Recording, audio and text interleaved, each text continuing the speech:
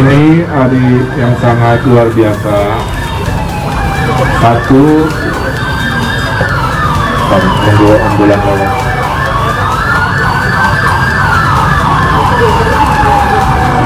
Yang pertama adalah kenapa orang pindah ke kota termasuk ke kota Bekasi? Karena di kota biasanya banyak rezeki. Tapi banyak rezeki berbarengan dengan banyak stres kan. Nah, agar kota Bekasi ini seimbang lahir batin, maka antara ruang-ruang ekonomi komersial harus seimbang dengan ruang-ruang sosial ya. Nah, ruang sosial hari ini kami resmikan. Satu adalah alun-alun kota Bekasi ya yang sudah bagus. Kita akan ekspansi juga. Silahkan manfaatkan untuk kegiatan-kegiatan ekspresi kebudayaan, olahraga dan lain-lain, upacara, mau demo juga sebenarnya boleh di tempat yang sudah nyaman. Yang kedua yang teristimewa, saya sangat terharu kenapa ternyata ekonomi kreatif Bekasi menurut saya karya-karyanya di atas rata-rata ya, bagus banget. Angkanya 8 dan 9 lah, eh, yang lain harus belajar ke kota Bekasi. Nah selama ini tentunya susah ya nyarinya tuh di mana gitu ngumpulnya kan. Saya dengar aja di IG-nya di medsos. Nah sekarang setelah 2 tahun, terima kasih atas kesabarannya. Ada gedung kreatif center kota Bekasi salah satu yang terbesar di Jawa Barat panjang sekali. Alhamdulillah hari ini diresmikan. Kelihatan dari antusiasmenya saya aja ditarik-tarik tadi ya. Menandakan semua karya Bekasi pengen dilihat Pak Gubernur. Saya backgroundnya juga ekonomi kreatif kan? Jadi paham betul dan inilah ekonomi masa depan kota Bekasi ya banyak orang sejahtera karena imajinasinya kalau mau kreatif, bergaulah dengan orang-orang kreatif, pasti ke bawah kreatif. Nah di sinilah, jadi orang yang seni tiba-tiba lihat fotografi terinspirasi. Betul? Orang fashion ngobrolnya sama orang film tiba-tiba jadi proyek bareng. Nah, misalnya begitu. Tadi ibu-ibu kuliner, tapi brandingnya kurang, ketemu dengan desain grafis, tiba-tiba bungkusnya, packagingnya jadi keren. Itu maksud saya. Maka suatu hari percaya omongan saya ya, kita akan memanen sebuah kehebatan anak-anak muda Bekasi di mana kombinasi ekonomi kreatif dan ekonomi digital itulah ekonomi masa depan. Jadi hari ini dengan bangga saya meresmikan dan mudah-mudahan rekan media juga mengingat ya Gubernur Jawa Barat yang sekarang Pak Ridwan Kamil sangat sayang ke Kota Bekasi. Setelah ini Kalimalang dan hitungan minggu kita akan meresmikan juga. Kemudian ada ruang-ruang lain dari Pak Wali yang hari ini juga akan kita kolaborasi. Sehingga nanti kotanya betul-betul seimbang lengkap. Ekonominya maju tapi rakyatnya juga bahagia. Saya kira itu uh, masukan dari saya dan arahan dan juga apa yang saya kerjakan hari ini. Silakan ada pertanyaan. Mau ngomongin minyak boleh Oh, ya, sama sama temen-temennya minyak pak sekarang saya nggak tahu pak. Uh, ya, gini. Kalau urusan minyak, kita sudah ada jatahkan 30 juta liter ya. Kalau dari bagi wilayah-wilayahnya, eh, harusnya hari-hari ini udah mulai banyak lah di warung, di toko dan sebagainya.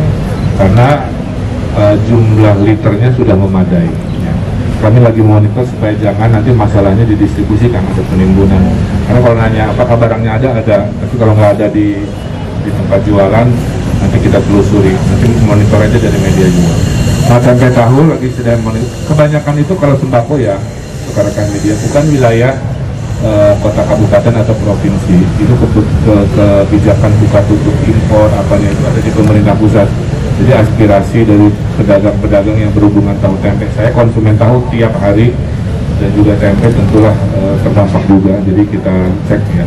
Mudah-mudahan uh, karena impornya saya tahu kan banyak mayoritas dari Amerika Serikat ya.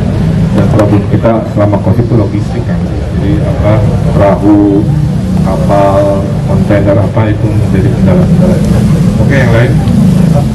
Uh, mau tahu alun-alun dan pak sama kapan pak?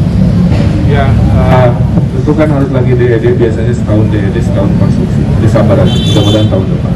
Tapi ada ruang-ruang publik lain yang uh, Wali sedang siapkan bersama saya. Salah satunya wilayah hutan kota dan daerah di Stadion Parkir itu akan kita sulap jadi wajah baru Bekasi dalam waktu dekat. Dan Sudah cukup ya? Satu lagi Pak, boleh Pak izin Pak, eh, terkait kemarin eh, apa namanya COVID, apa satgas COVID nasional menyebut bahwa Jawa Barat 19. Nah? Jawabannya sederhana. Yang namanya COVID ini eh, selalu ada naik turunnya. Dan Jawa Barat sudah tiga terakhir, ini sudah tren turun. Puncak 15, 13, kemarin 10. Kita doakan hari ini sore pengumumannya ya. Mudah-mudahan turun dari 10. Kalau turun dari 10 sebenarnya trennya sudah turun. Kenapa media harus ingat, nggak usah terlalu khawatir kan. Yang kita monitor oleh Omikron itu rumah sakit. Karena Omikron itu cepat tertular tapi cepat sembuh rata-rata 2-3 hari maka sekarang arahan dari pusat juga nggak usah membesar-besarkan kasus aktifnya kita monitor di bornya aja karena kalau dulu dengan jumlah sekarang baru 90 persen nah kalau sekarang Omikron di Jawa Barat rata-rata hanya di 30 dilakukan advokasi pak terkait yang Cirebon pak yang melapor uh, kepala desa tapi ditetapkan menjadi tersangka juga pak Eh, saya tidak hafal semua berita di Jawa Barat 100%. Saya akan kembali setelah saya dapat laporan dari Mohon detail. pak satu lagi pak Terakhir ya. Iya, iya. Ya, Pak, kami dari warga Oh, dari warga. Ya, Bu. Kami dari warga Pengairan Jalan Hasibuan, Pak. Sekarang sedang kena PSN proyek strategis nasional pembebasan lahannya IPASAM untuk Jawa Barat dan Jakarta.